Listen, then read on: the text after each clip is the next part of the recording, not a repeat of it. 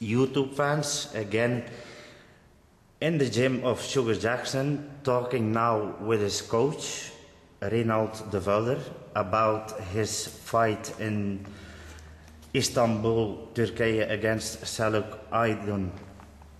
Reinald, how are you? I'm fine, I'm fine. How is the preparation of Sugar going for the moment? Very good. Everything is uh, like it uh, should be. Physical, mental, as, as, as technical. Uh, it, it's all going very good. Like I wanted to to be happy, so it's okay. In June again, you're going to the States to go preparing the final preparing in America. How do you feel about the workouts in America? Good, good. Uh, that's why we go to America to have sparring on uh, a higher level. Um, we know it's uh, tough guys there, and they uh, they want to be up uh, sugar on the sparring, so that's what we need to be prepared. Uh, so we did uh, half job here for sparring. Uh, we working on technique, and uh, we go to America to to work on the sparring to to to beat uh. Talking about his last fight against Baldomir, he did a great job. But where do you think the difference was between Baldomir and his loss in Poland? Can you explain what happens in Poland? Hungry, hungry, hungry. Uh, Jackson, uh, before Poland, was five times European champion, was uh, announced as the best boxer of Europe, all categories. So, uh, what, how do you tell uh, a fighter to keep uh, very sharp for everyone and if he's always winning? So,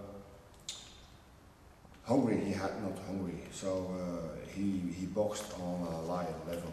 Uh, it, it, it was all about uh. And against Baldomir, he had a lot of respect for Baldomir. He, and he had hungry because he, he lost in Poland. And I could say to, to, to Jackson, uh, what you do is not good. Eh? Because when you cannot say as a coach against the boxer, uh, you're not good, you're not good, you don't work good enough or hard enough, when he always uh, win the fight. So I had to wait to, to Poland to say, Sugar, you can do better than that. You can go better and harder. Uh, and if you want to win a fight like Baldomir with all his experience, uh, ex four times ex world champion, you're going to have uh, the hungry feeling. You must have the hungry feeling uh, against Baldomir. He, he had just just on time the, the right uh, hungry. What do you think about his opponent, Selçuk Aydin? He has a perfect record 18 bouts, 14 with knockouts. What do you think about Selçuk Aydin, his opponent for July? You must give him uh, respect, a lot of respect, because uh, the guy has uh, 18 fights, like you told, uh, 14 win by knockout, uh, no losses.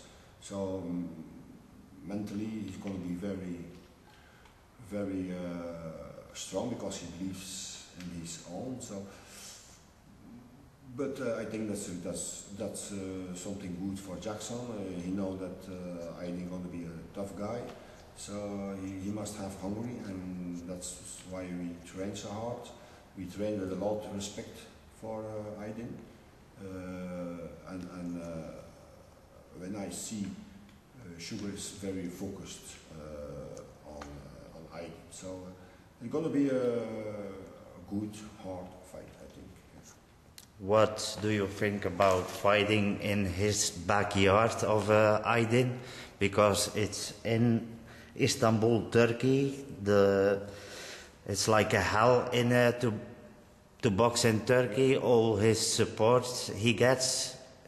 So what do you think about that? And You know, uh, boxing in your uh, backyard uh, put the pressure on the boxer uh, at home. You know,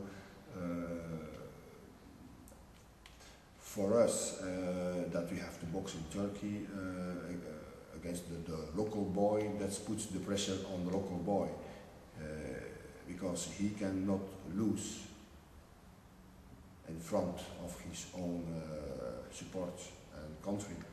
Uh, we only there to, to, to win the fight. We only fight one man, not whole Turkey. Uh, and we don't understand the language, so what they are shouting to us, we don't understand, so uh, we, we don't care about that. The, the only thing uh, that Jackson has to do is uh, do his fight, like he always do. Uh, that's all. It's not extra pressure to go to Turkey. Because in the past he has been to Russia, Yeah. he has been to France, and He's people saying Jackson is much more alert when he's Yeah. fighting in people's backyards. Yeah. He's much more dangerous. Is that You're a right. fact or? Yeah, yeah, that's that. That's uh, if, if if Jackson uh, keeps up like he's doing now, keep, keeps up uh, to be hungry, you know, because he's hungry now. Oh yeah, he's hungry. So uh, no problem. Uh, he don't have pressure. He only has the pressure of the pressure that the Aydin will give him in the fight. Uh, so the pressure is to the local boy, not to Jackson. Final question. Do you think Jackson can become a world champ in the future? Yeah, why not? He has uh, all the skills that you need to be a world champion. He had the punch, he has a good chin, he got the eye.